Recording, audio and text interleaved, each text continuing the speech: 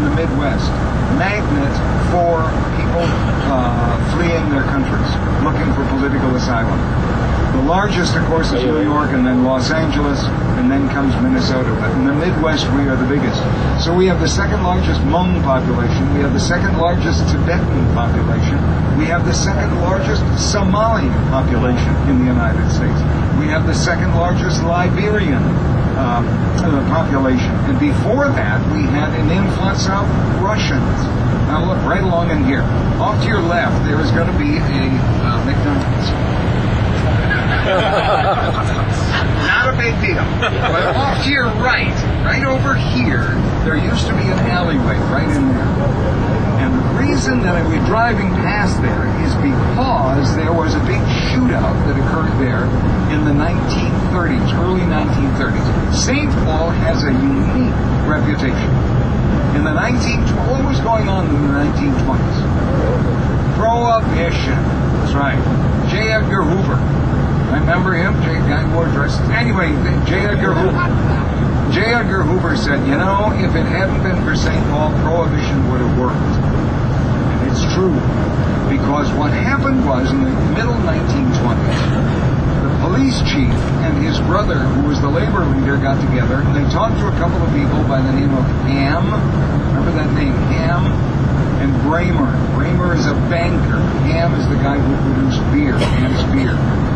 They talked to those guys and they said, what do you think if we open up the city of St. Paul to all the gangsters in America and let them come here?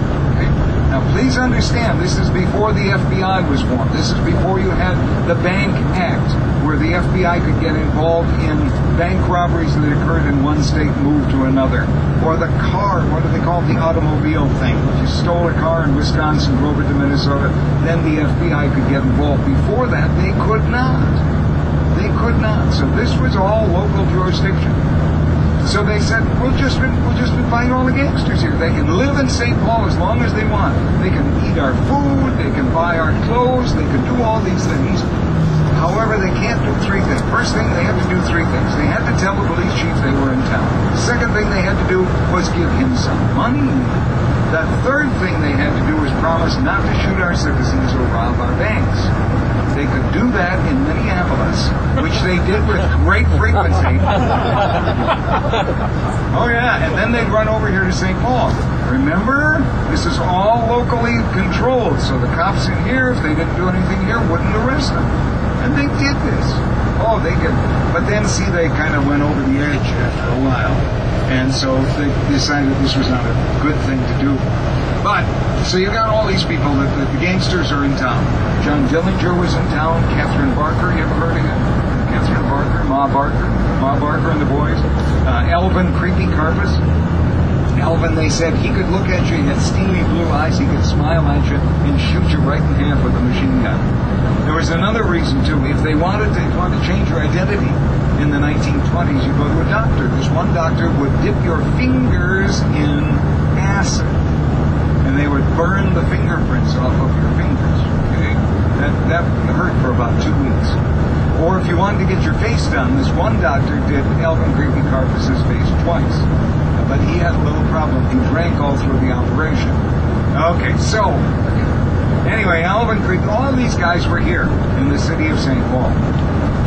After Prohibition, Franklin Delano Roosevelt was elected, Prohibition ended. The great experiment was over within nine months, no, 11 months of his taking the oath of office, you could buy liquor any place you wanted to.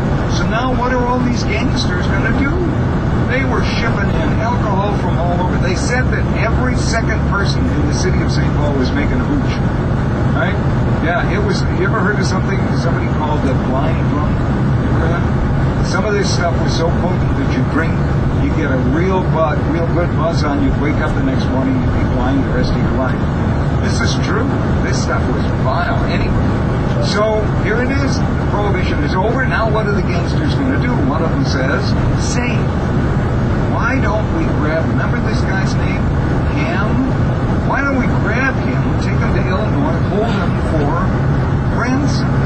And they did, $100,000. Within nine months, they were broke.